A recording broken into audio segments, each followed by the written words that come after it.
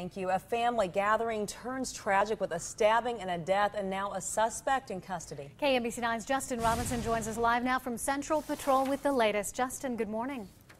Good morning, Jana and Donna. I had a chance to talk with officers inside of Central Patrol here, and they tell me that yes, now the man is in custody for a deadly stabbing that happened around 10 o'clock last night at about 28th and Highland. The man in custody is in his 30s. He's a black male and getting arrested in his downtown as we speak.